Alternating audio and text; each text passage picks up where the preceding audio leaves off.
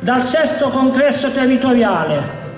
Continuiamo a crescere insieme, con determinazione, con passione, con coraggio, con lealtà, con energia, con tanto impegno per costruire una certezza per i lavoratori, con coerenza, con la partecipazione e con la nostra disponibilità. Buon congresso e un fortissimo fortissimo, fortissimo fratello, abbraccio a voi tutti.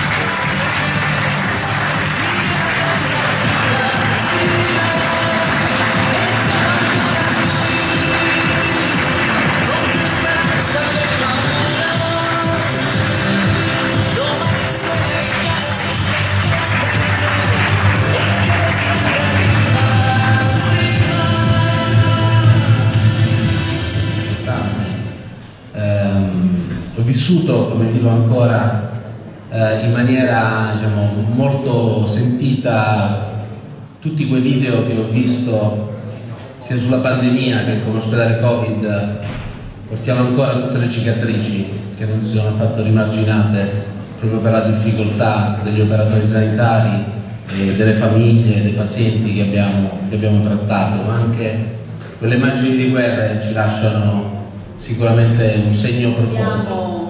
Profondamente feriti da quello che sta accadendo nel mondo e soprattutto in quel paese martoriato per quello che le donne ucraine stanno subendo, che sono le vere protagoniste della resistenza civile a chi ha completamente smarrito quel minimo della guerra dovrebbe no? consentire un approccio differente. Oggi ancora immagini terribili, donne stuprate, violentate, bambini, 230 bambini hanno perso la vita questo è un peso no, sulla nostra coscienza.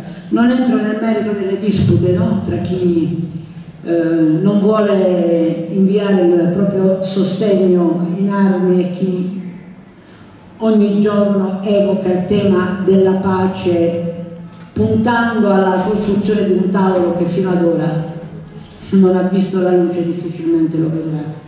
Noi possiamo comunque essere vicini a quel popolo, lo abbiamo fatto anche in provincia di Foggia, il dottor Giuliani ha ricordato l'impegno di Casa Sollievo, ovviamente non poteva che essere così, ma tutti gli attori sociali, il volontariato, il terzo settore di questa provincia ha dimostrato grande senso no? di vicinanza, di solidarietà e di sostegno.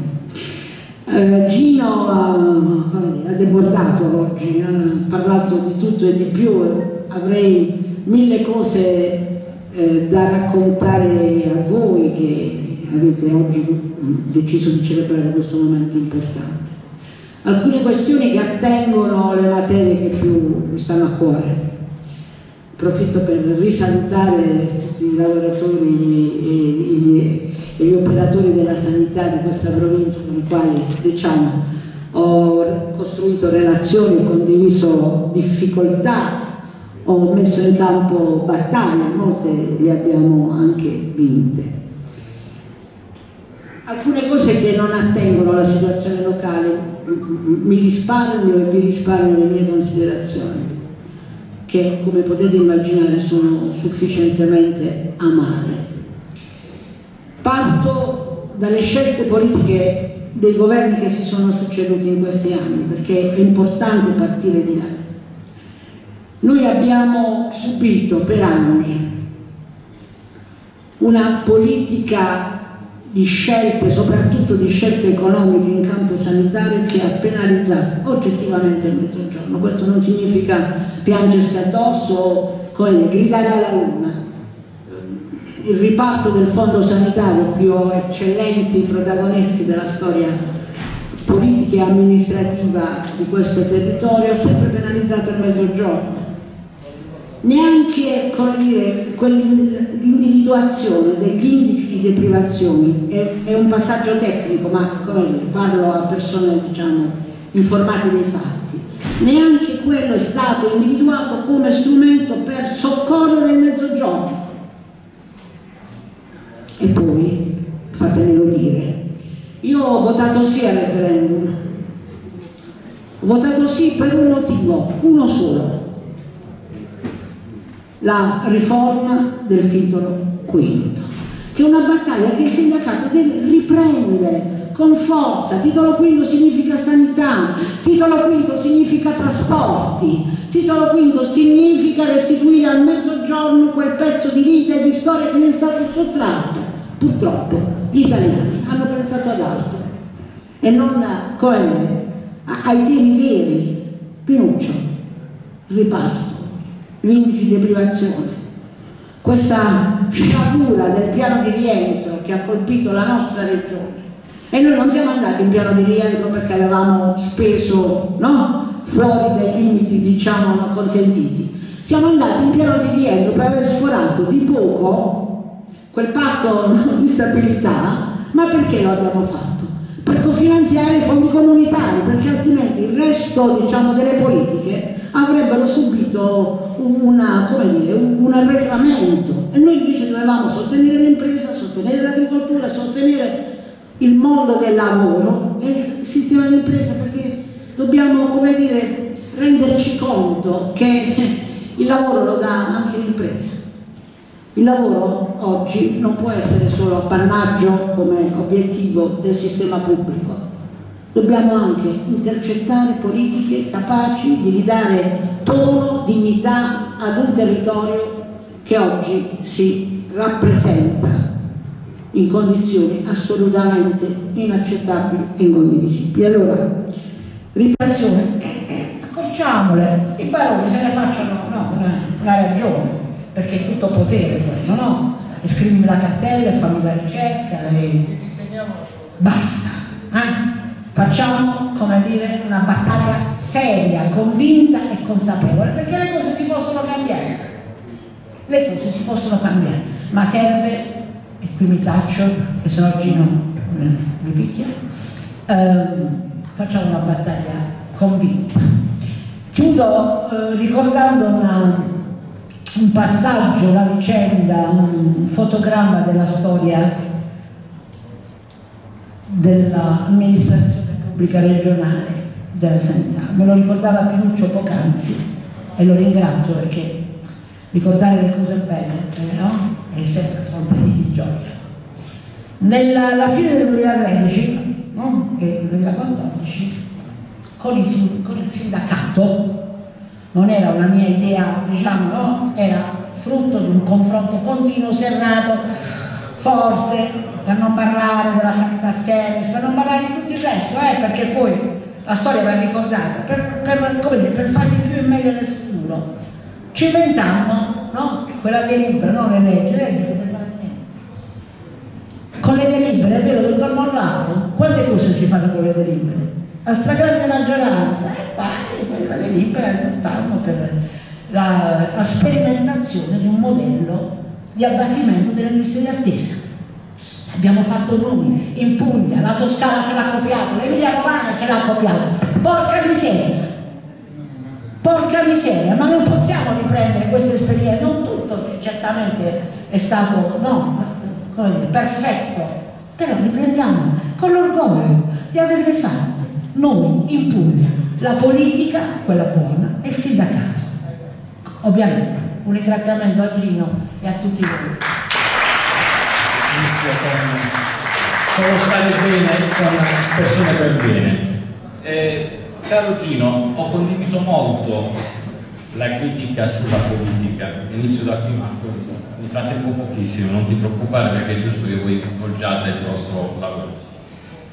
Eh, credo che ci sia un, un virus anche nella politica che ha colpito anche forse prima del Covid, che questo virus si chiama populismo e che questo populismo abbia infettato in maniera eccessiva la politica.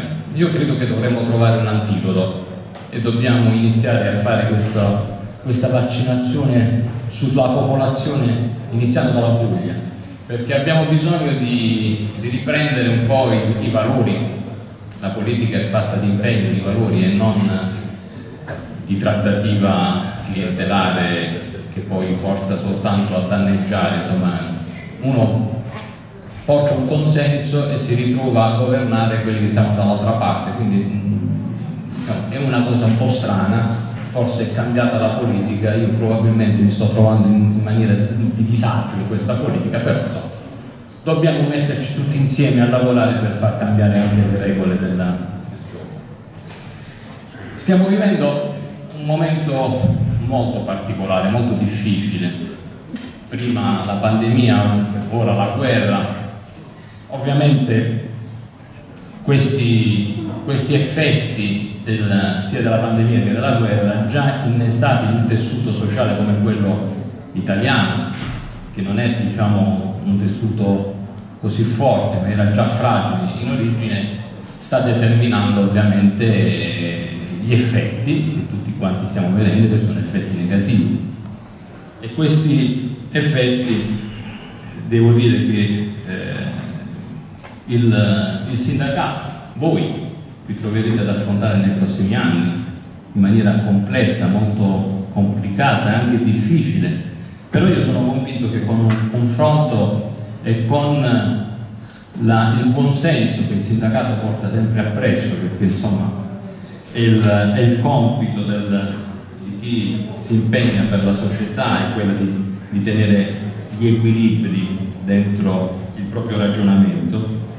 Io credo che insomma, il compito delicato, neuralgico che voi avrete, soprattutto avviando un confronto con tutti gli attori, i protagonisti del, del nostro presente, futuro, non possa che, diciamo, che essere utile per poter ragionare. Eh, il confronto è fondamentale, soprattutto su temi. Voi, Gino, tu nella relazione hai parlato eh, della, della stabilizzazione, oggettivamente è uno dei temi forti dove noi ci, ci dobbiamo impegnare tutti quanti propri, nelle, nelle, proprie funzioni. Questo, questo precariato eccessivo che non dà mai sicurezza, non dà mai prospettiva, il futuro della vita dei, de, delle persone che vivono quella precarietà non riesce mai a, a dimensionarsi. Quindi io dicevo questo, anche quella, quell'occupazione di qualità, perché anche l'occupazione eh, non è soltanto una forma di dire abbiamo trovato il posto, non è quello, è che tipo di posto, come viene poi a sancire la dignità della persona con la sua occupazione. Anche qui è uno degli elementi su cui il sindacato fa battaglie su questo, quindi è giusto che ci sia fino in fondo dentro questo, questo tipo di confronto. Uh, Luigi per l'invito che ha voluto rivolgermi, per la, dire, uh, insistenza affinché io presenziassi con il saluto questa, questo bellissimo momento di confronto che la lui sta tenendo nella nostra provincia. Anch'io un po' mi sento a casa, Gino senz'altro ricorderà che nella mia esperienza di gioventù ho ricoperto anche l'incarico di segretario cittadino della Urina Monte Sant'Angelo, prima di sì, prima di sì. Mi sono formato un po' sulle tematiche dei lavoratori della nettezza urbana, gli operatori ecologici come medico competente, ma anche come rappresentanti sindacali. Quindi storia che rivendico perché come dire, in ogni passaggio del mio impegno ci metto voglia, mi rimetto in discussione, passione, studio. I meriti e bisogni per me sono dire, un intervento che nel periodo universitario imparai a memoria, sapevo quindi a memoria il passaggio sui meriti e bisogni, che probabilmente dovremo dire, riscoprire e ri, riattualizzare.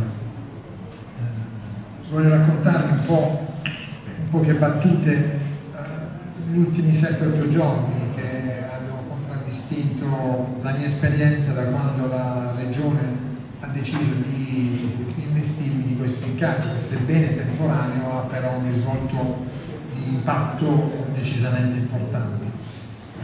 Innanzitutto ho incontrato gli operatori zootecnici, gli operatori eh,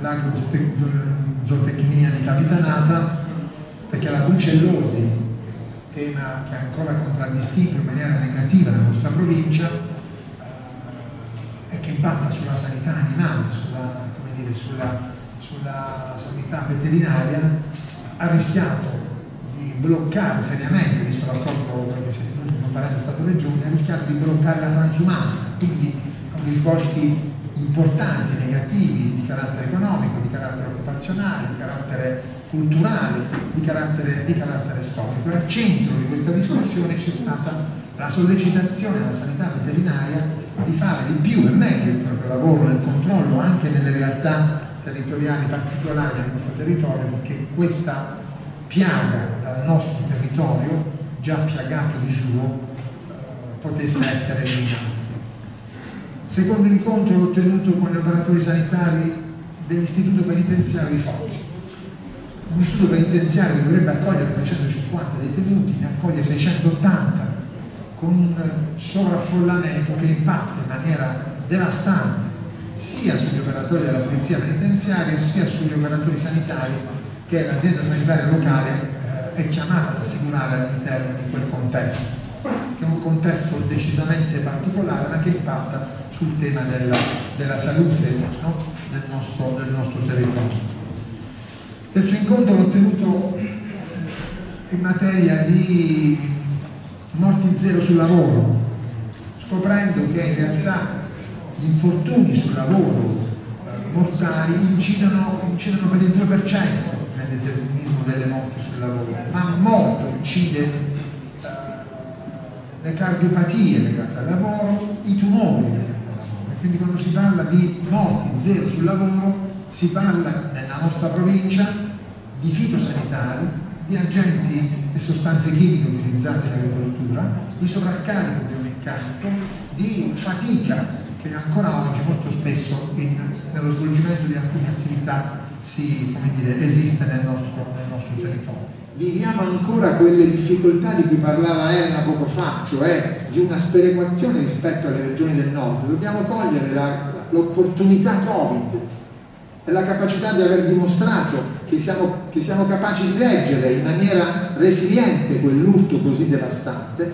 per posizionarci, pur partendo da un numero assoluto di risorse umane decisamente, come dire, inadeguato rispetto, rispetto ai bisogni di salute che dobbiamo, che dobbiamo, che dobbiamo prendere, prendere sulle, nostre, sulle nostre spalle. E, e, questo, cioè la principale risorsa che abbiamo, il patrimonio che abbiamo, cioè la risorsa umana, è oggetto, credo, di, questa giornata, di queste giornate di riflessione e anche di questo, se mi permettete, mandato breve che la Regione mi ha assegnato nella carica di commissario straordinario. Non ce la facciamo con l'io, non ce la facciamo con l'io. Con queste premesse l'io non ce la fa. Quindi non è bastevole dire siamo felici che ho un foggiato. Bene, cinque minuti dopo questa affermazione alle spalle. Non basta, non serve, non è sufficiente. Dopo cinque minuti io l'ho messa alle spalle. È necessario noi, noi soggetti, protagonisti di questo territorio, che cosa vogliamo prenderci sulle spalle, che impegno vogliamo profondere che autoriflessione vogliamo fare, che ruolo proattivo vogliamo fare, che ruolo vogliamo svolgere in un contesto che non è, come dire, di soddisfazione assoluta, ma è di soddisfazione relativa per il contributo che si dà nella nostra, nella nostra comunità, quella dell'azienda sanitaria locale, quindi dal mio punto di vista è una comunità, è una comunità dove il noi è centrale, che non può essere omologante, anche questo dobbiamo sapere chiaramente, non può essere omologante, ma una comunità di singolarità, di storie, di persone uno più uno più uno, che insieme con un, auto, con un percorso di autoresponsabilizzazione può costituire un rafforzamento identitario, una capacità di contribuire ad elevare quell'asticella di confronto di cui si parlava prima e che credo sia condizio sine qua non per l'intera capitanata se l'intera capitanata a partire da Foggia Città vuole guardare, vuole guardare al futuro. E quindi, come dire, l'atteggiamento che io in questi giorni sto portando avanti è un atteggiamento di ascolto, è un atteggiamento di grande, come dire, eh, sensibilità ai suggerimenti, alle aspettative che da tempo un territorio eh, vuole che gli venga riconosciuto, ma nel contempo è anche un atteggiamento di, se mi permettete, richiesta di aiuto di chi ha deciso di spendersi su, una, dire, su un terreno estremamente scivoloso e difficile, non ci sono risorse economiche, cioè ci sono risorse economiche ma non ci sono risorse umane. Rischi di costruire ulteriori cattedrali nel deserto senza possibilità di riempirli il tempo dell'edilizia è finito eppure arrivano risorse ancora richieste di costruzioni nuove. No? Capacità del sistema tecnocratico di essere flessibile molto molto risicata. Voglia ancora di dire io appartengo ancora molto forte. Altro tema che pongo costantemente è può un territorio come il nostro, così come dire, baciato dalla fortuna, di avere due eccellenze, Policlinico e Casa Sollievo, una realtà aziendale diffusa sul territorio come l'ASL, immaginare di continuare a dire ASL, Casa Sollievo, Policlinico, ma non ha più senso dire allearci. Che cosa fai tu? Con che prestazioni eroghi tu? Con quale personale? E se a me serve il personale per, per erogare altre prestazioni, perché no? Perché non fare questo percorso? Che è la vera novità, la vera rivoluzione che probabilmente noi qui finora non abbiamo fatto. Vedere quante e dove stanno le risorse e chiedere a tutte queste risorse un contributo importante strategico, girando le carte, dicendoci francamente quali sono i punti di forza e quali sono i punti di debolezza. La rete oncologica è più importante che un cittadino della provincia di Foggia venga curato bene nella provincia di Foggia piuttosto che fare la corsa all'accaparramento del paziente.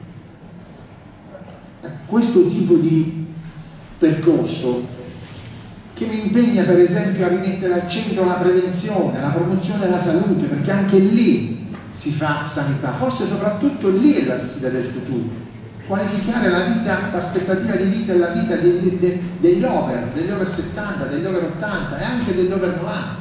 Questo, questo tipo di fetta che sembra non trovare mai interlocutore valido che incida anche sulle economie. Voglio vedere quant'è il bilancio della Foggia dedicato alla prevenzione. Negli aspetti economici non sono mai entrato, ma sono curioso di sapere quant'è la percentuale del bilancio dell'azienda sanitaria locale della provincia di Foggia assegnata alla prevenzione perché tutti parliamo di prevenzione, voglio sapere le risorse, quante sono le risorse. In quel momento ho deciso di spendermi su questa partita. Dopo tre lunghissimi anni, Giorgione lo sa, di grandissimo impegno, in sordina, eh, ora però non è il mio momento, non è il mio momento.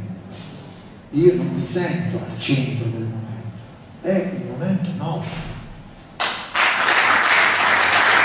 Importante questo, è il momento cui ciascuno di noi, i sindaci, i sindaci, gli enti locali, le associazioni, ho incontrato l'Unione Italiana Ciechi, in questa settimana ho incontrato l'Unione Italiana Ciechi e con l'Unione Italiana Ciechi ho promesso di sottoscrivere un protocollo che, come dire, affronti il tema della, della disabilità dei ragazzi ciechi. Queste fasce di popolazione che stanno nel nostro territorio e impattano in maniera importante, eh, vanno rimesse al centro con la capacità di dire che probabilmente una cosa bella il PNR l'ha detta, la sanità appartiene alla comunità. E questa è la sfida forse vera della, della sanità, soprattutto nelle nostre comunità, riscoprire il senso di comunità che significa aprire le porte alla partecipazione della comunità, una comunità qualificata, proattiva, capace attraverso gli organismi, immagino per esempio il comitato consultivo che abbiamo noi, è validato slancio, validato smart, va reso capace di proporre delle, dire, degli interventi di carattere con, con delle ricadute puntuali. Eh, in questo percorso, che è tutto sanitario, ma non è solamente una sanità che guarda la cura, perché la mission dell'azienda sanitaria locale non è il cuore, non è la cura, il cuore è la prevenzione, la promozione della salute, la promozione del benessere, che riguarda anche l'accesso alla cura e la presa in carico all'uscita dall'ospedale. Qui in questa filiera il ruolo in alleanza di tutti gli attori protagonisti è assolutamente importante e con questo spirito mi accingo a vivere questa sfida. Grazie Gino. Di padre Michele, di padre Pio prima e di padre Michele quando hanno il primo sollecitato, il secondo attuato questa, questo sogno insomma, di creare queste strutture che hanno, ripeto, operato per anni quasi isolate sul territorio e si sono prese cura delle persone le più periferiche, marginate, abbandonate. E voglio qui portare un breve messaggio, ho preso degli appunti per essere breve perché voglio dire brevemente tutto quello che mi preme comunicare a questa assemblea congressuale. Ho sentito molte cose interessanti da parte di Giorgione, condivido molto le, molto le cose che si sono dette da parte degli ospiti, ho apprezzato molto l'intervento del nuovo commissario dell'ASL di, di Foggia, veramente interessante, che non sempre si ascolta per la verità da parte di, di chi assolve questa responsabilità, lo dico coscientemente, sono decenni che mi occupo di sanità anche in questo ruolo, di direttore generale delle aziende pubbliche e quindi so bene come si lavora in queste realtà, eh, le problematiche come vengono affrontate, non sempre nella maniera migliore, con quello spirito che ho sentito da parte del, del commissario. Ecco, io mi voglio soffermare, ripeto brevemente, sul valore della riabilitazione e del personale che vi lavora.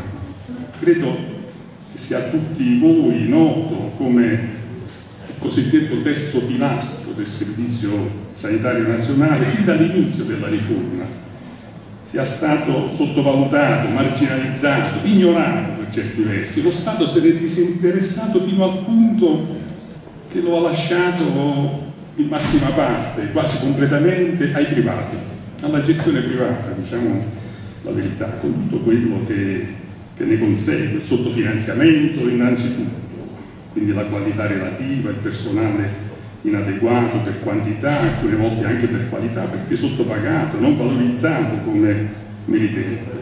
Oggi, dopo la pandemia, si sta riordinando il servizio sanitario in senso territoriale, domiciliare, e va tutto bene, ma ancora una volta la riabilitazione è stata ignorata. Se leggete il DM 71 ci rendiamo la riabilitazione non c'è.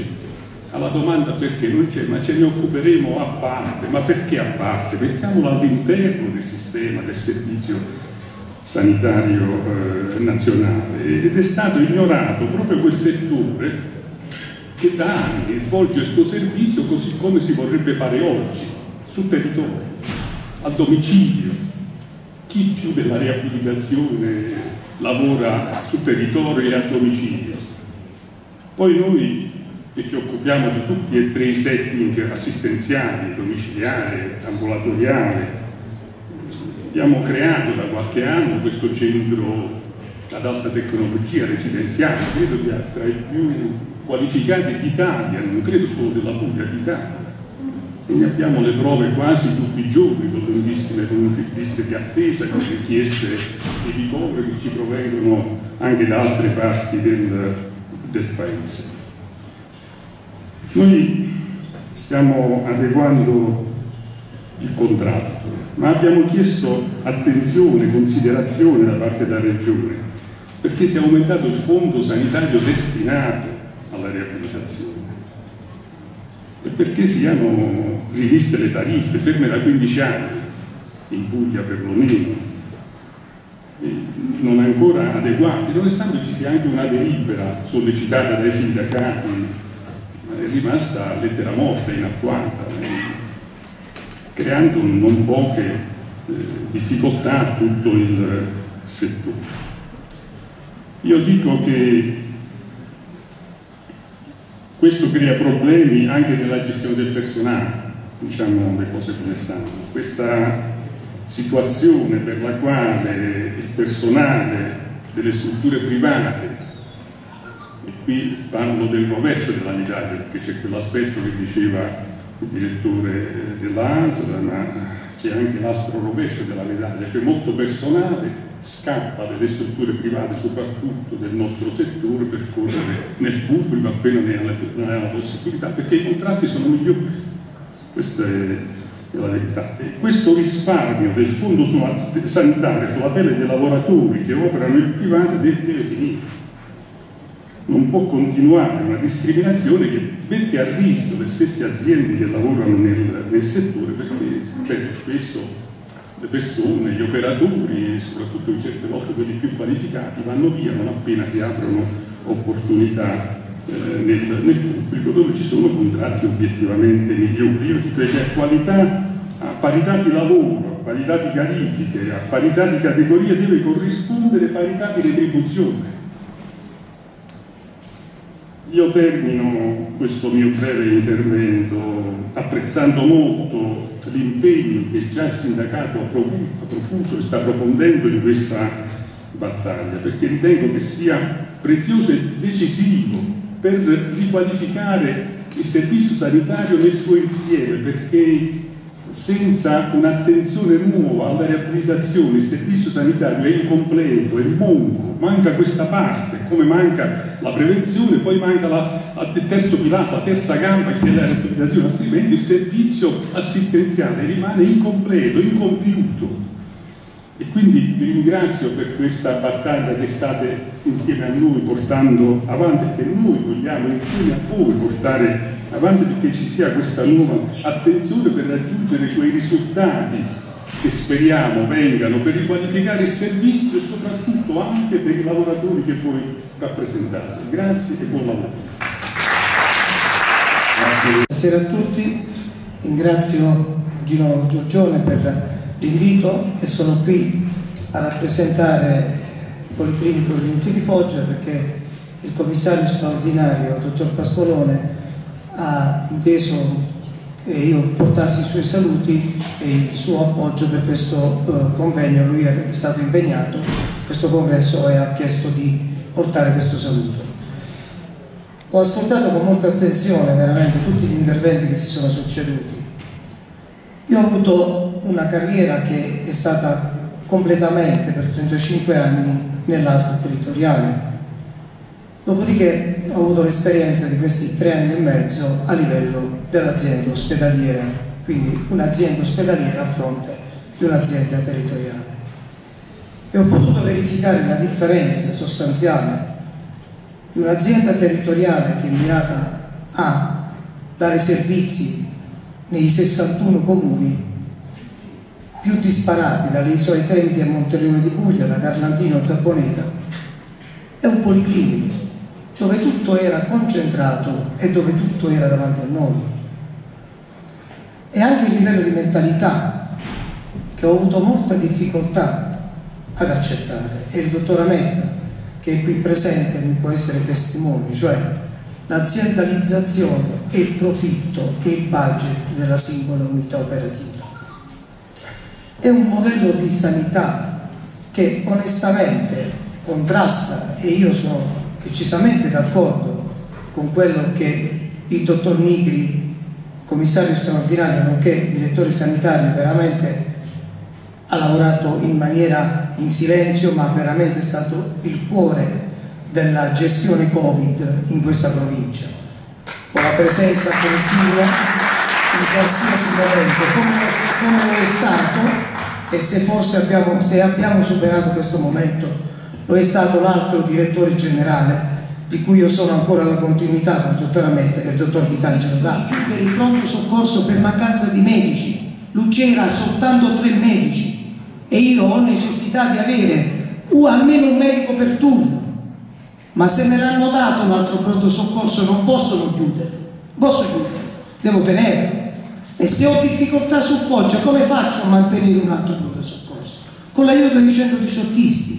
Quindi noi, in virtù di questo, stiamo già applicando quello che, che chiediamo, la competenza.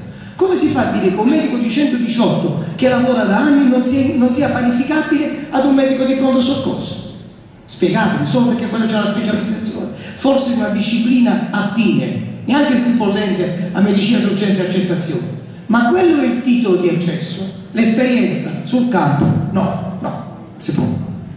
Io non riesco, ma come non riesco io non riesco il dottor Noi parliamo a braccio perché noi viviamo giornalmente i disagi dei cittadini. Prima di, di vivere i disagi dei medici e degli operatori sanitari, noi viviamo i disagi dei cittadini.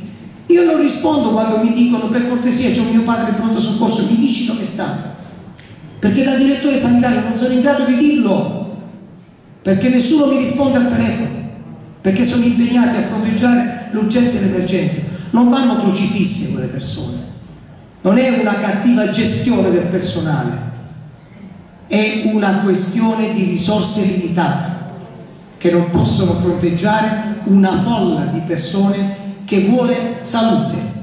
L'appropriatezza c'è nell'accesso al ricovero, non ci sono quintali di codici bianchi. Se la gente viene perché ha bisogno di, essere, di trovare un punto di riferimento e noi glielo dobbiamo dare. E noi non dobbiamo criminalizzare o picchiare i colleghi o dire che si imboscano. Non è così. Perché la gente scappa? Se mi imboscano non ho motivo di, di scappare.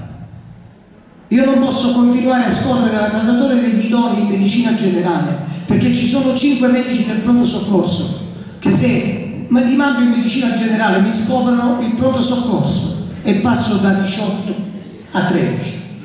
Non è così che funziona. Allora scusate, e concludo perché eh, l'animosità c'è, ma credeteci, noi veramente ringraziamo, io eh, colgo questa occasione per ringraziare tutti gli operatori del Policlinico tutti, dal primo all'ultimo, perché per me tutti sono uguali.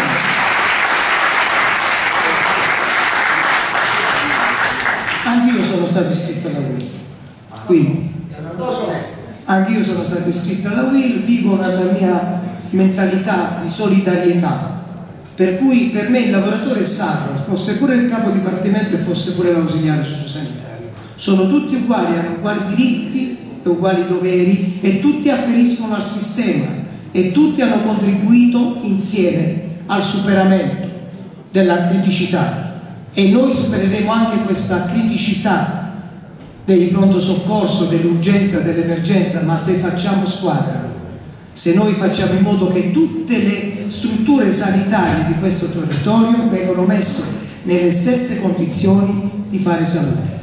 E un ringraziamento doveroso lo devo al dottor Ametta che è qui presente, che sinceramente mi ha fatto molto piacere vedere perché per me è stato il primo che mi ha cercato di far capire supera il modello ASL, entra in questo modello, fatti, diventa direttore di questa azienda. Io lo ringrazio, ringrazio pubblicamente, come anche tutti gli operatori del Policlinico, non possono non riconoscere quanto di bene ha fatto Michele Ametta in questi anni, per cui approfitto della sua presenza per fare anche a lui gli auguri e vi, vi ringrazio di questa opportunità. Ho dato un po' di spunti, spero che possano essere. In qualche modo ci siamo confrontati nei miei 54 anni di lavoro.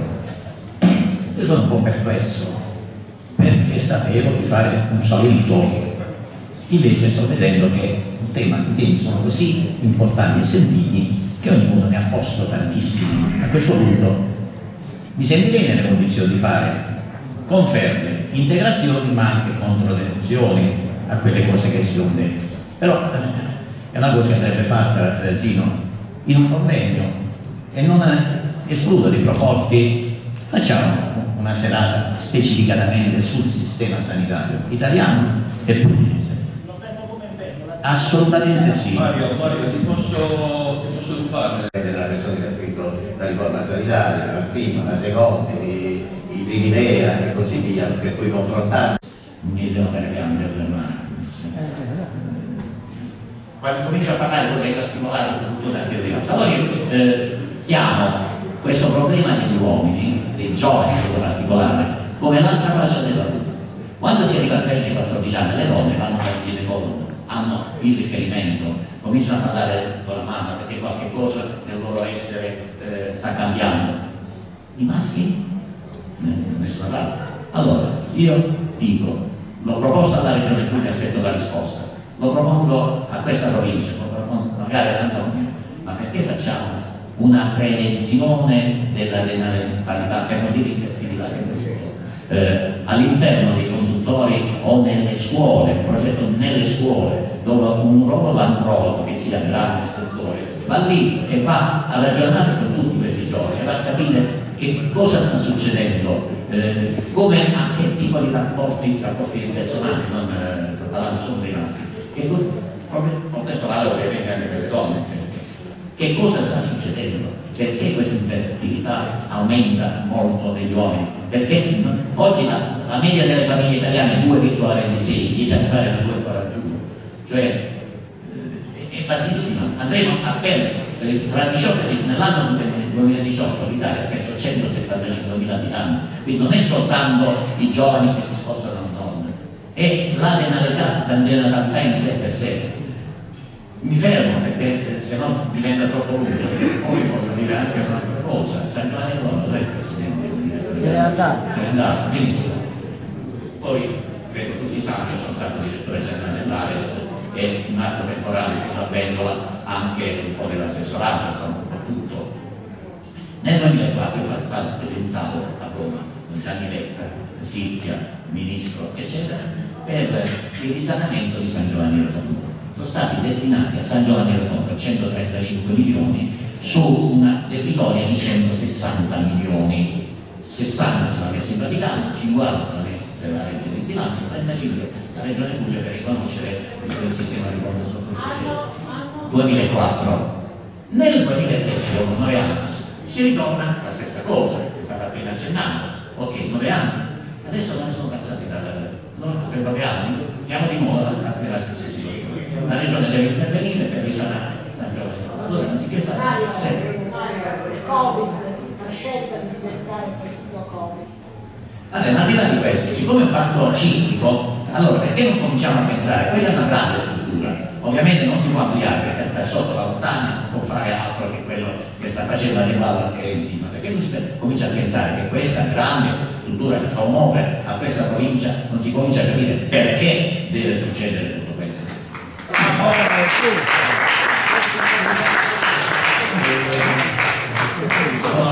Non sono altre tematiche.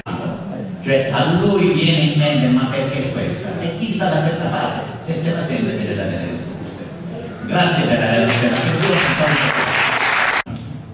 Sono 30 anni, tantissimi, e abbiamo fatto battaglie, non. Sentivo molti iscritti alla U. Io vengo dalla Cisnal e eh, successivamente Unione Generale del Lavoro.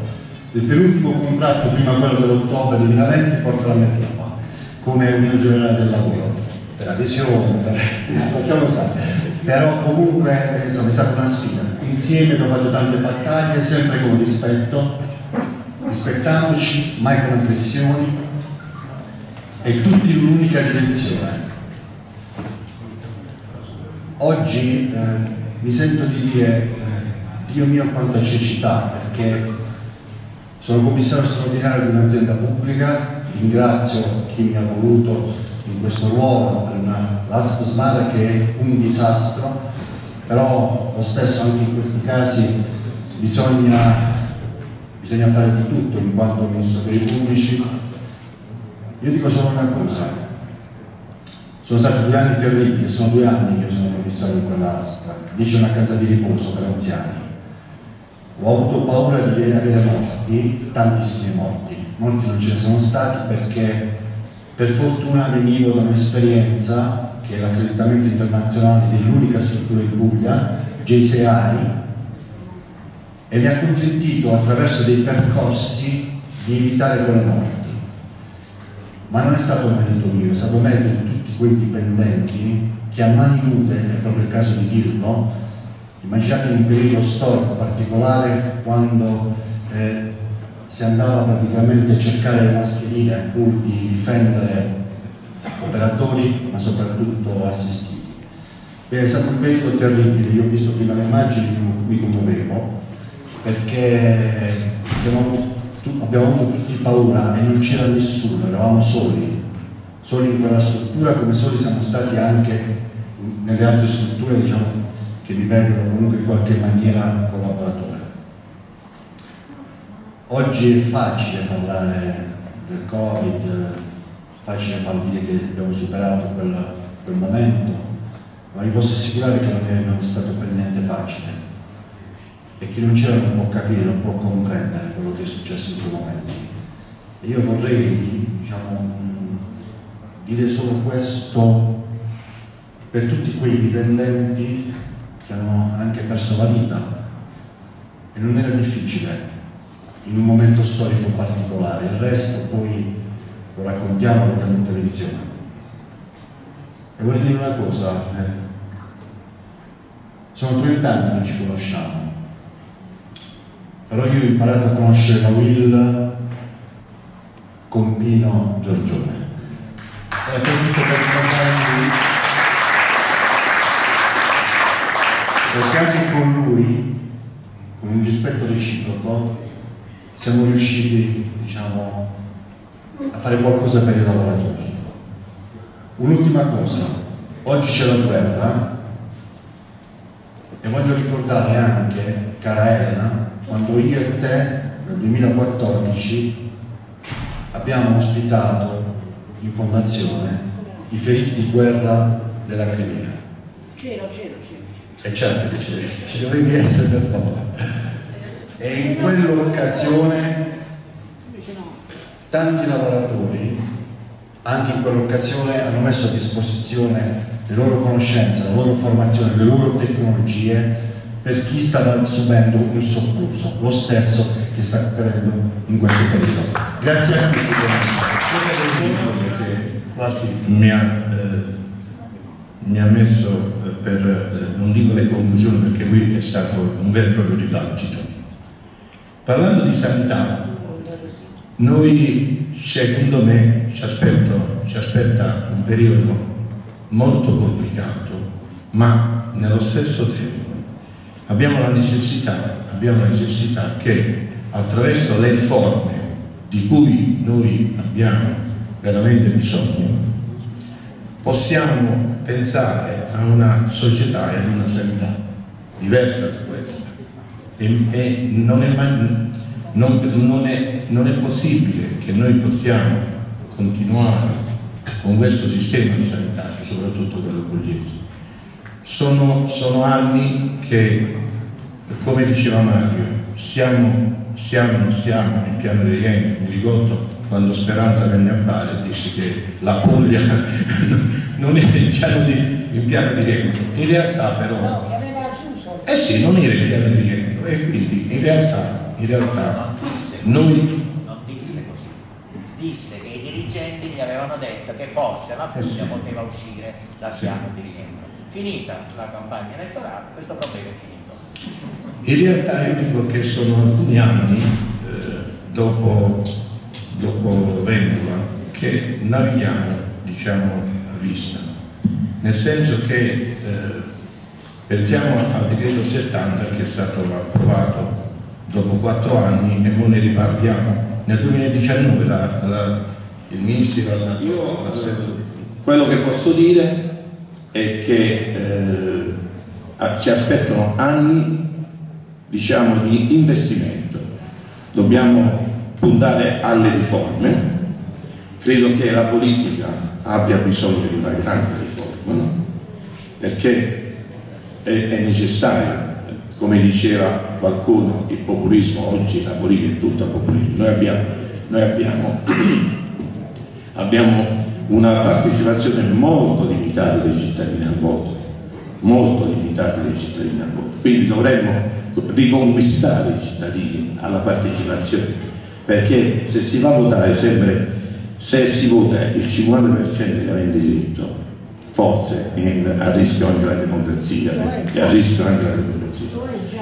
Quindi eh, a questa organizzazione sindacale faccio i migliori auguri per il, per il lavoro che vi aspetta e puntiamo sulle riforme, ne abbiamo necessità, cioè un'Europa perché noi i soldi che ci danno ce li dobbiamo restituire con gli interessi e giammai noi questi investimenti li sbagliamo. Qui dobbiamo stare attenti l'organizzazione sindacale in modo particolare deve tutelare il cittadino deve stare, ed essere molto vigile molto vigile come vengono utilizzate queste risorse.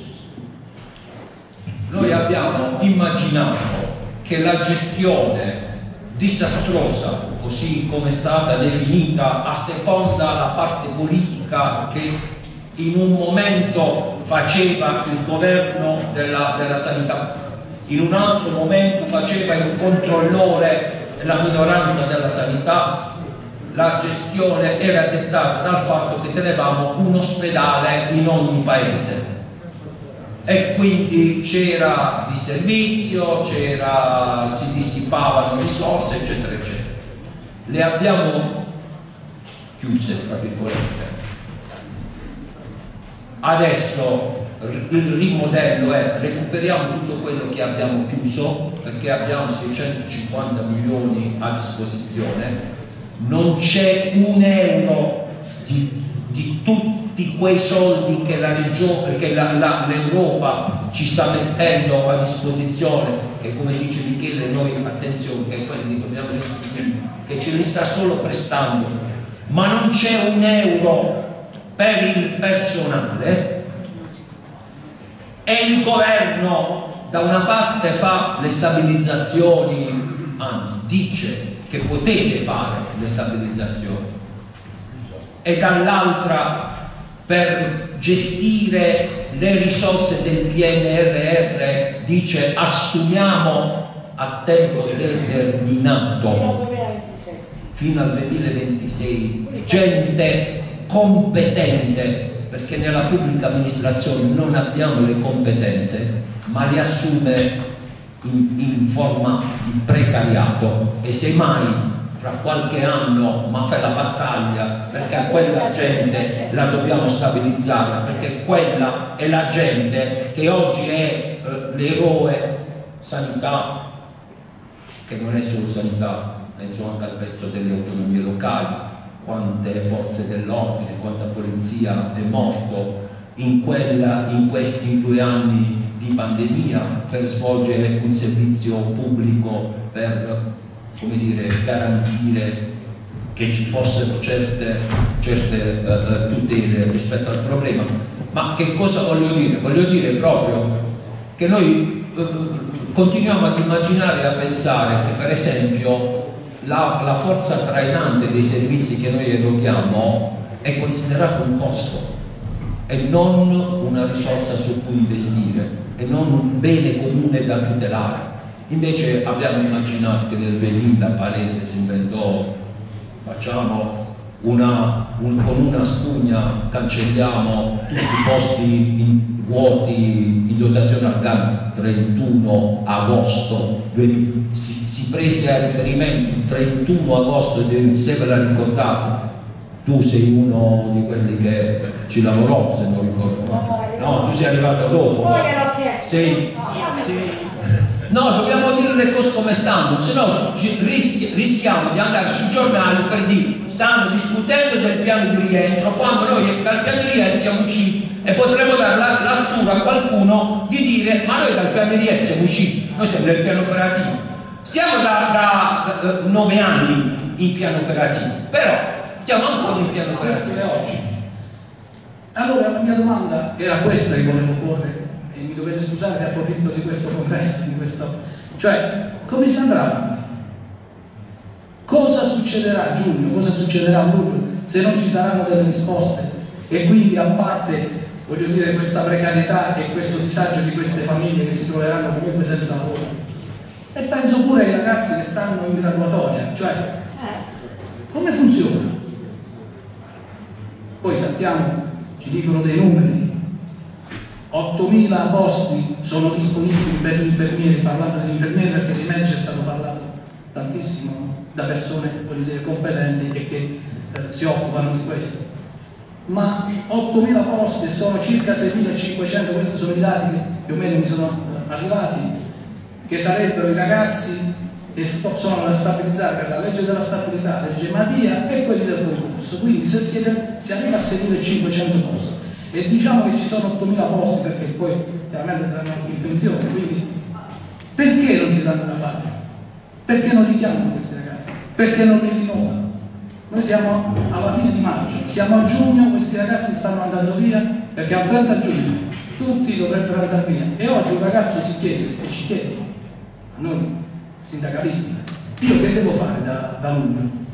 Me ne vado, quello che si diceva prima, si parte, si va via, perché questo è il problema. Va bene, non voglio sottrarre altro tempo, io vi ringrazio ancora. Gino Pigione, eh, quale mi lega una grande stima e grande rispetto. e io vi porto il saluto della guida agroalimentare, noi faremo il nostro congresso il 9 giugno prossimo e apriremo il nostro congresso con un filmato di Papa Francesco da solo in Piazza San Pietro nel 2020 apriremo con il filmato della sera del 9 marzo 2020 quando Conte uscì in televisione e disse eh, restate a casa. Era la sera in cui gli italiani hanno avuto paura e si sono affidati a una serie di persone, sicuramente al mondo della sanità, in primo luogo al mondo della sanità, ai dipendenti pubblici, ai commessi dei supermercati, ai lavoratori agricoli dell'industria agroalimentare che hanno consentito di portare il cibo eh, sulle, sulle nostre tavole, a tutto l'universo femminile che ha retto in quella fase della pandemia le famiglie ha lavorato in smart working con un occhio, con l'altro occhio guardava i figli che erano entrati e che si distraevano e che hanno gestito i parenti malati che non potevano essere raggiunti da badanti o altre persone che non potevano entrare in casa per via della pandemia. Io aprirò il congresso della guida agroalimentare guardando al passato e guardando quel 9 marzo, perché eh, noi non dobbiamo dimenticare quello che è accaduto, noi dobbiamo prendere spunto da quello che è accaduto e lo voglio dire qua al congresso eh, FPL, noi dobbiamo imparare qualcosa da quello che è accaduto, noi dobbiamo guardare al mondo che verrà e dobbiamo puntare a potenziare la sanità. Non può essere che quello che è accaduto venga dimenticato, noi dobbiamo prendere spunto da quello che è accaduto. Ora eh, è vero che a casa eh, dei suonatori non servono serenate. Io non faccio questo ragionamento a casa della, della UIL a parlare di sanità eh, perché eh, voglio parlare di sanità. Voglio invece evidenziare che il potenziamento della sanità eh, deve essere ancora di più di oggi eh, qualcosa che la Confederazione deve fare su. La Confederazione deve puntare, deve spingere nei confronti del governo delle regioni affinché la sanità venga potenziata. Io oggi ho ascoltato di contratti non firmati, di precarizzazione, di carenza di personale. Vuol dire che non abbiamo compreso quello che è accaduto. Noi dobbiamo eh, prendere spunto da quello che è accaduto. E eh, a proposito di Will, io concludo parlando di, di, Gino Giorgione, che come anche lui ha detto nella sua relazione che è stata completa, esaustiva, eh, è una persona con la quale spesso eh, ci si scontra anche in maniera dura, però è una persona con la quale poi si... No, no, vabbè, su questioni, può succedere su questioni sindacali, ma, ma la, la, caratteristica bella di Gino è che alla fine è che alla fine si trova sempre la quadratura del cerchio, alla fine si trova sempre una soluzione ed è, ed è uno degli artefici eh, di questi ultimi dieci anni di Will a Foggia che eh, Gianni Ricci ha saputo caratterizzare appunto nell'armonia. Noi siamo stati negli ultimi dieci anni in grande armonia tutti insieme, abbiamo avuto anche dire, le nostre differenze di idee, ma alla fine abbiamo sempre trovato la soluzione tutti insieme con grande armonia, perché l'armonia consente a chi, alla, ai dirigenti sindacali di non perdere tempo, di non perdere quando c'è armonia si guarda solo agli iscritti e si guarda solo al consenso. Ed è quello che grazie a Gianni all'intero gruppo dirigente di Foggia eh, siamo riusciti a fare in questi ultimi dieci anni.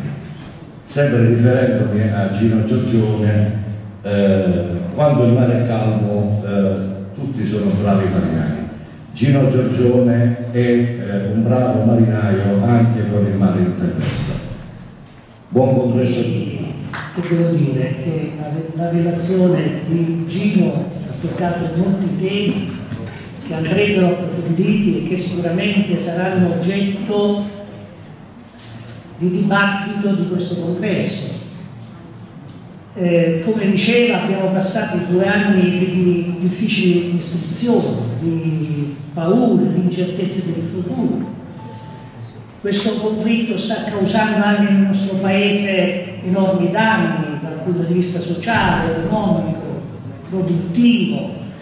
E in questi giorni riflettevo su una frase di Papa Francesco, visto che è stato citato da più persone, che diceva che l'unico modo di vincere una guerra è non farlo. E allora mi sono chiesto come fosse possibile vincere una guerra senza combatterla e la risposta la possiamo comprenderla tutti guardando quello che facciamo ogni giorno.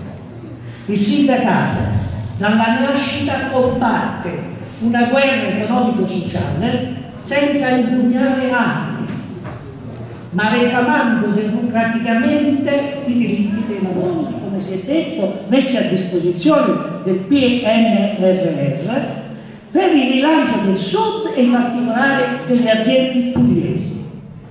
Occorre investire una parte di questi soldi per riprogettare il Servizio Sanitario Nazionale perché la migliore politica economica per un paese è una buona politica sanitaria e questo l'abbiamo riscontrato tutti.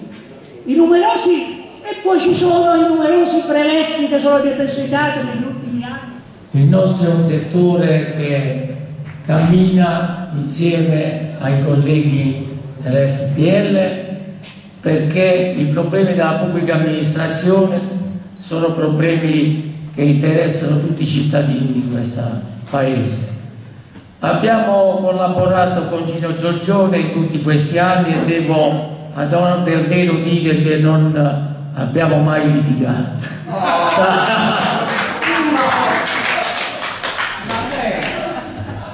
Ho ascoltato la relazione di Gino e sono rimasto colpito positivamente da quello che ha detto perché ha toccato un po' i temi del lavoro della provincia di Foggia, ha spaziato sui temi nazionali ed internazionali, per cui è stata una relazione di alto livello per il quale io mi devo complimentare con lui.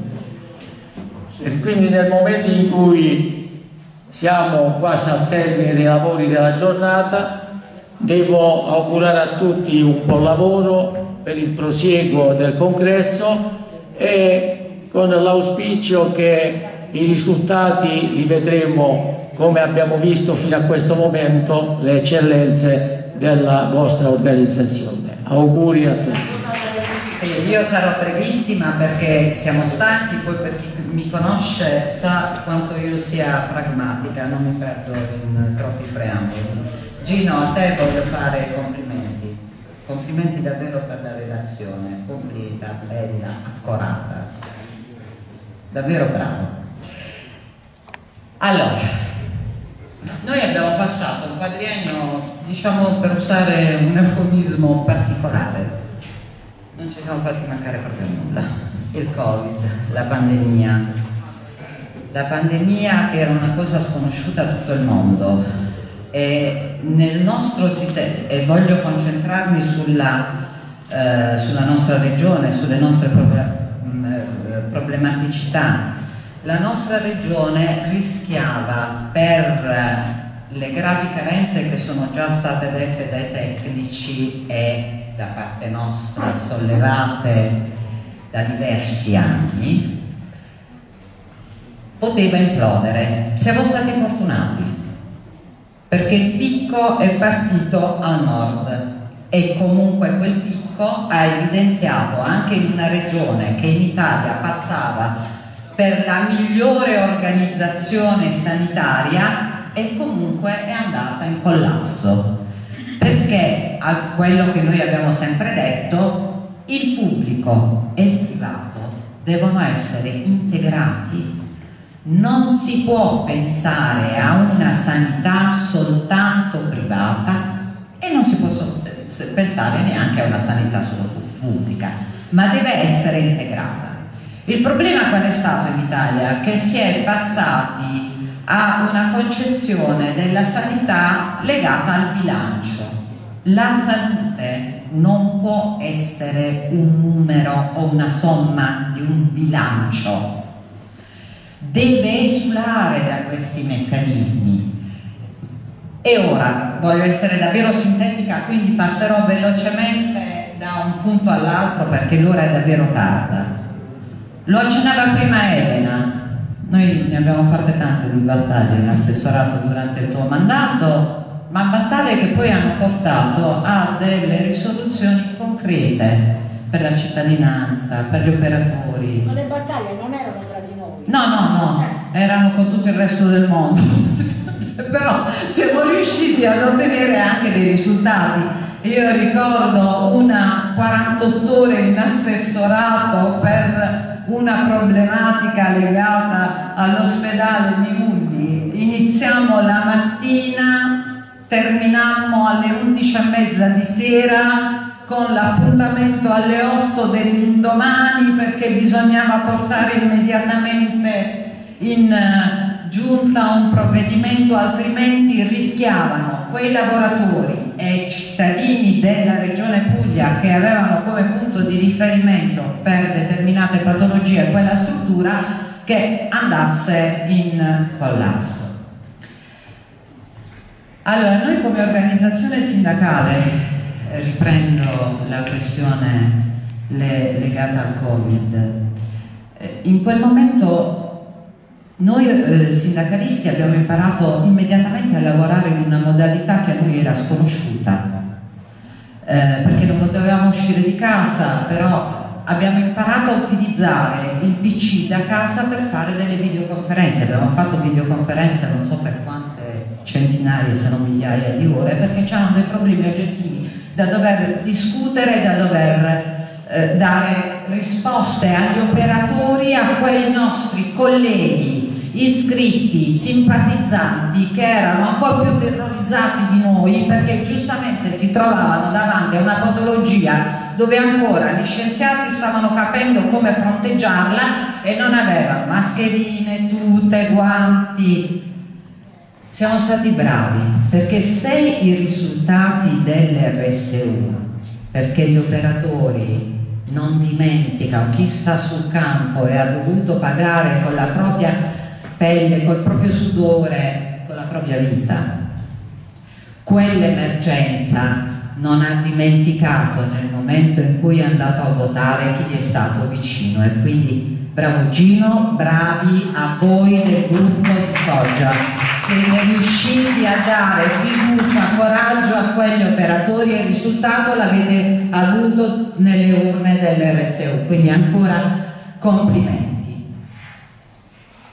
Si accennava, molti hanno accennato al PNRR, c'è stato il periodo dell'euforia perché in Italia noi siamo così, ci entusiasmiamo con grande facilità Può essere un'opportunità il PNRR, però essendo finanziamenti e quindi debiti da restituire alla comunità europea, malauguratamente queste risorse che sono destinate per lo più alla costruzione di edifici, che non riguarderà soltanto gli ospedali, riguarderà gli asili, riguarderà se non si lavora contemporaneamente, parallelamente, con una buona programmazione 21-27 dei fondi europei e non ci si mette in testa che quella maledetta soglia dell'1,4% del costo del personale per il pubblico impiego bisogna superarlo, ma chi ci mettiamo dentro? Ma che, cioè stiamo costruendo dei castelli nel deserto che non produrranno quei benefici che invece la collettività ha bisogno. Una giovane coppia appena sposata con dei salari ancora diciamo da stabilizzare, ecco, usiamo questo termine a noi caro e odiato allo stesso tempo se noi non gli offriamo il servizio di un nido un dove lasciare il bambino e poter andare a lavorare, mentre superata, superato il confine della Svizzera, della Francia, della Germania, questi hanno servizi, palestre, piscine, nidi, un'organizzazione ad hoc, perché non se ne devono andare là? Il problema quindi è certamente un salario che è al di sotto, nettamente al di sotto delle medie europee, ma sono anche i servizi. E la preoccupazione, e qualche politico finalmente incomincia a parlarne, però quello che auspichiamo è che non sia soltanto un chiacchiericcio, ma iniziamo davvero a lavorarci sopra, la denatalità, è vero, è un grosso problema in Italia, ancor più nella nostra regione. Però se davvero non si riescono a creare queste opportunità di lavoro, queste opportunità di garantire servizi a eh, questi lavoratori, ma perché mai devono rimanere qui? Noi di menti eccellenti ne produciamo, però vengono immediatamente, ha ragione Elena quando dice, ancora prima che finiscano la specializzazione, vengono dall'estero, se li scelgono, se li portano. No, là lavorano e, fanno specializzazione. Bravissima.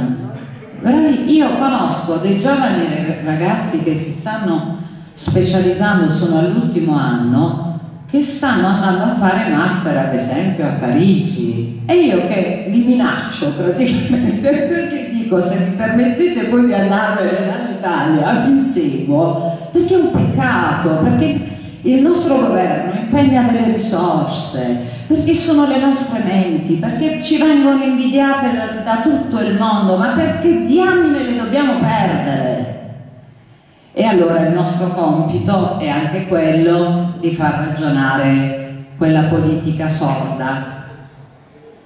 La dobbiamo portare a ragionare e quando chiedeva il dottor Morlacco facciamo un convegno perché è un argomento troppo importante, dobbiamo unire le forze, cioè noi ci stiamo, non ci siamo mai sottratti ai confronti, anzi li abbiamo promossi. Ma noi dobbiamo lavorarci seriamente, perché se qualcuno vuole venire a fare passerella non è per i nostri gusti. Noi abbiamo voglia di sederci a tavolo, di, di, di dialogare, di, di confrontarci, eh, ma di trovare anche, di, di proporre delle eventuali soluzioni, perché siamo arrivati in questo paese al punto in cui non si può più delegare. Le prossime generazioni, perché non saremo solo noi a pagare i debiti del PNRR, eh? ci vorranno forse 3, 4, se non di più generazioni, non è corretto, la nostra coscienza non può permettere che questo avvenga, che questi soldi vengano sperperati in maniera deleteria. Ultimo passaggio e poi davvero eh, mi avvio alle conclusioni. Parità salariale, genitorialità, parità delle donne. Con questo tono. sto da qualche mese nel sindacato, qualche mese. Passi se ne sono fatti, c'è ancora tanto, se ne parliamo ancora oggi, è perché evidentemente c'è ancora tanto da fare.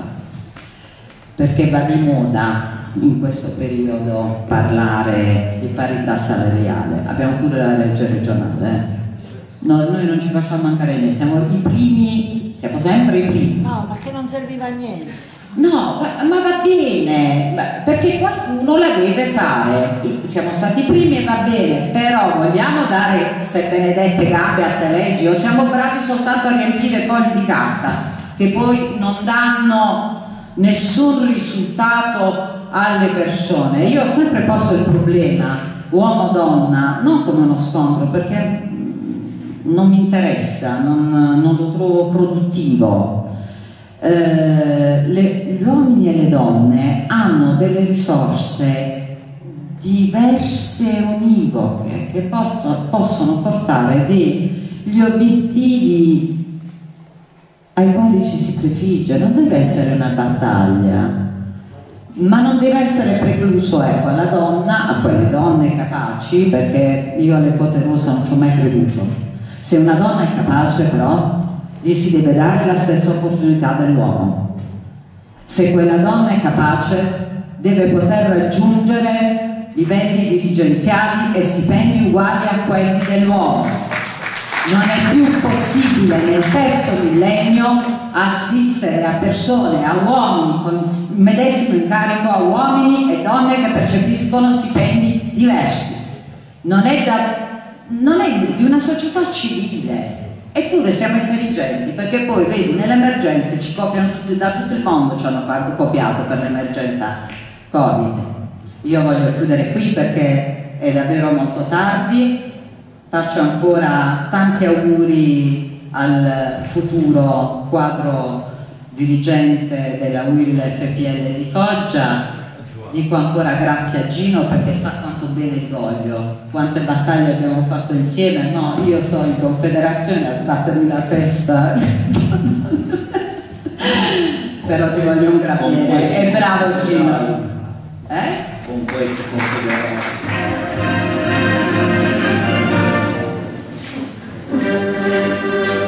Tigino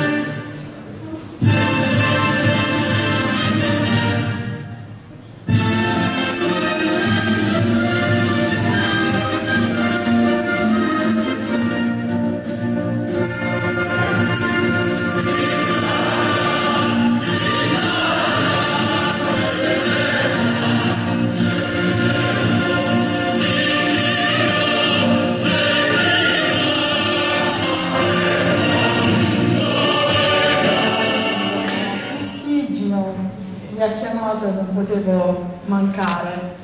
Eh, mi ha fatto venire in mente il segretario tra noi azienda e la UIL, i sindacati, c'è sempre un, rappo- un rapporto bello che a volte è di contrasto, anche in sede di contrattazione, ma è giusto che sia così. Ho visto anche il con- dottor Contillo, che è il nostro segretario aziendale della dirigenza, però sempre nel rispetto dei ruoli, eh, nell'affetto reciproco e è vero adesso il sindacato non è più contro l'azienda, ma eh, il sindacato insieme all'azienda sempre per, per far meglio sui, sui lavoratori.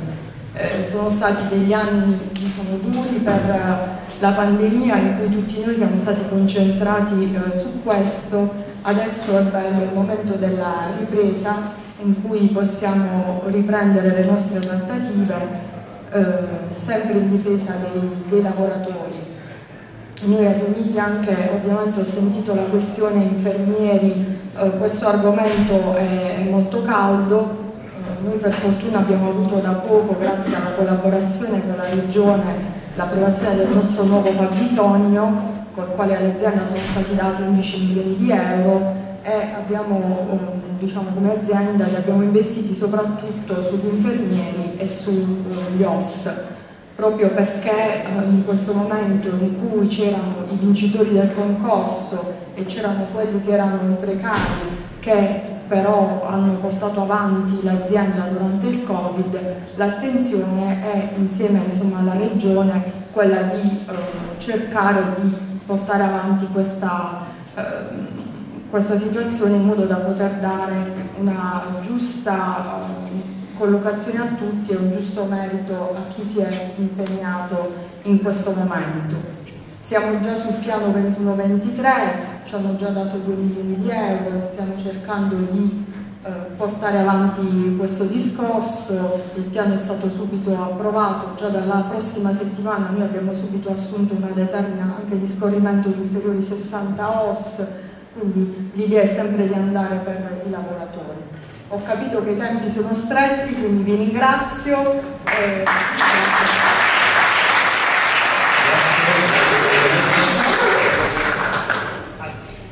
alla dottoressa Lucrezia Cardinale, professionista dalle elevate doti di mediazione con grande capacità di ascolto. È, è diventata neo direttore di struttura del personale, determinando il suo contributo nel dialogo sindacale con amicizia e stile. Grazie.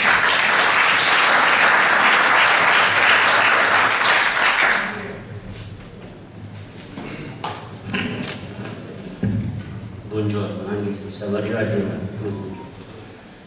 Niente, io parto subito dalla brillante eh, esposizione della, di ieri di Gino, della relazione di Gino. Non voglio essere ripetitivo, già è stato detto, parlare verso la fine significa ripetere sempre le stesse cose, però alcune cose le voglio, le voglio mettere in risalto. Intanto complimenti a tutto il gruppo WIL per eh, l'ottimo risultato ottenuto nelle elezioni dell'RSU. Io sono dipendente di Cazzoleo, da noi non si vota, però eh, il risultato è stato eccellente. io come eh, segretario della famiglia di Casoglio posso dire semplicemente a questa platea che siamo il primo sindacato in caso della sofferenza. Per cui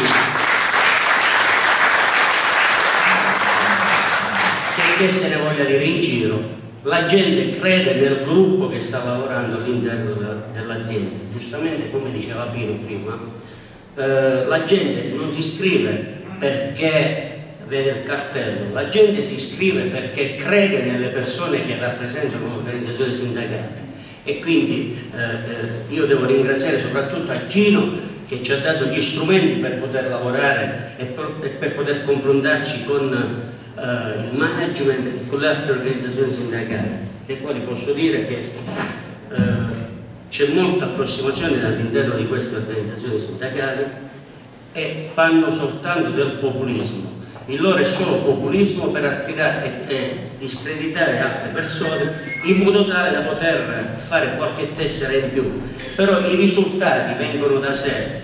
Da noi la gente si deve iscrivere, non che andiamo noi, sono loro che vengono da noi, per cui possiamo essere più che contenti, non abbiamo bisogno, anzi, più parlano e più ci fanno la pubblicità, visto di questi tempi che la pubblicità costa, noi ce la fanno gratis.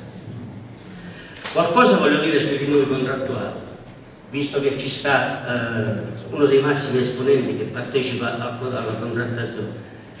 Abbiamo la necessità di arrivare allo scontro con questo con questo governo. Siamo arrivati al punto di non ritorno perché non si può aspettare più, visto il triennio che è scaduto, non si può aspettare più andare a mendicare per l'ispiccio. C'era un contratto ponte, il contratto ponte l'abbiamo rispettato, adesso è l'ora di pagare e di dare i soldi a chi ha lavorato in prima persona durante la pandemia e durante il Covid.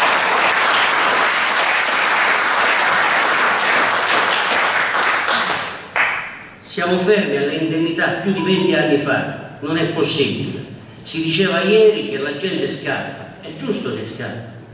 Se in Italia uno stipendio medio è di 1500 euro e poi sotto, vengono sottopagati, altrove, fuori dall'Italia, lo stipendio è il doppio, compreso vitto alloggio, beh, la politica si deve fare il mea culpa, perché avviene questo? Io ieri ho sentito l'intervento del dottor Morlacco e l'intervento di Elena Gentile, giustamente come dice eh, Pino, loro hanno fatto chi l'assessore e chi ha fatto il dirigente, il dirigente che dar conto a chi l'aveva messo a quel posto. Devo fare soltanto un piccolo passaggio riferito a Casa Sollievo, che non mi è piaciuto perché ho sentito pure commenti distorti sala. Sembra che Casa Sollievo nel 2004, 2004, 2013 e 2022 sia stata salvata perché eh, eh, la gestione sia stata un po' leggera, almeno, ma non penso che sia così. Perché? Perché nel, nel 2004 abbiamo cominciato ad avere la crisi, perché? Perché si è passato dal sistema delle rette ospedaliere al sistema dei DRG e quindi abbiamo avuto Diamo la parola a Gino Di Pecco. Gino, so che adesso devi scappare. Tu sì, devo scappare. Uh, Gino Di Pietro, grazie a lui da tanti anni siamo la prima organizzazione nella Camera di Commercio di Foggia. Anche questa volta credo che siamo al 90%, 90%, 90 dei sindacati e da domani domani è l'ultimo giorno di lavoro, quindi ma lui è no, come pensione, all'organizzazione con noi. Al dottor Luigi Michele Di Pietro, dirigente sindacale straordinario, simbolo della nostra riconoscenza, stima ed affetto. Grazie per il grande lavoro che hai svolto, ma lui continuerà con noi.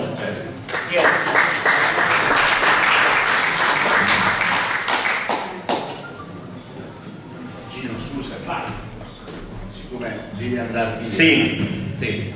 un riferimento delle mie chiusure era per te.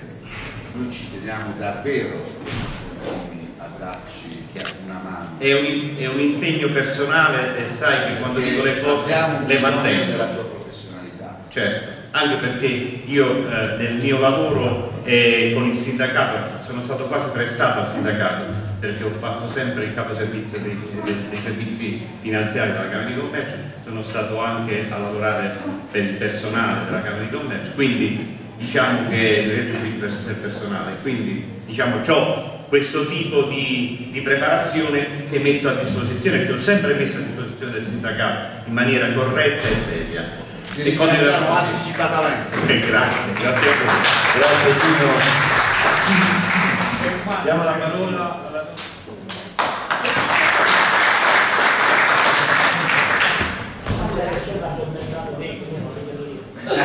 Grazie a tutti, eh, la prima volta che parlo non di, diciamo, non di clinica, quindi sono anche un po' emozionata. in realtà quello che volevo dire era, a parte il grazie, la, parola, la mia riflessione nasceva quando Michele parlava ed è eh, motivazione, è la stessa motivazione che ho trovato qui, che ho avuto la fortuna di vedere nelle stanze segrete quando ehm, ho visto con che accoramento eh, Gino e eh, la dottoressa Ioce che poi è mia zia, eh, diciamo, li ho visti trattare argomenti e quindi ehm, importanti, ma è la motivazione che la vorrei che si eh, ritrovasse da capo del mio lavoro. Io sono un anestesista, mi occupo di emergenza, lavoro all'ospedale di San Severo e noi il Covid l'abbiamo visto e quindi eh, la motivazione per cui mi chiedo sempre perché in realtà i ragazzi non vogliono affrontare l'urgenza, perché le, le scuole di specializzazione vedono una riduzione degli iscritti nelle branche di emergenza e urgenza essenzialmente perché poi per le altre e soprattutto perché scelgono idee di secondo livello e mai quelli dei primi di primo livello. È ovvio la motivazione, sono tutte le branche specialistiche, tutto quello che volete, però il vero problema secondo me è un non riconoscimento delle peculiarità. Abbiamo livellato un po' tutto, per cui quella frase eh, classica che io odio, ma chi te lo fa fare a pigliarti pure quest'altro impiccio?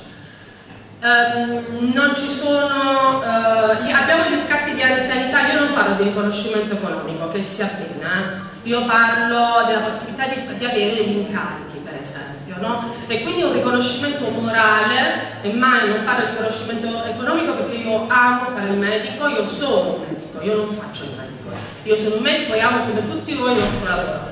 Però riconoscimento, qui ci sono degli ottimi infermieri che lavorano con me, questo vale sia per i medici, vale anche per il comparto, alle volte bisognerebbe che eh, queste capacità venissero valorizzate maggiormente e questo farebbe sì che sia i nuovi assunti e ancor più gli anziani.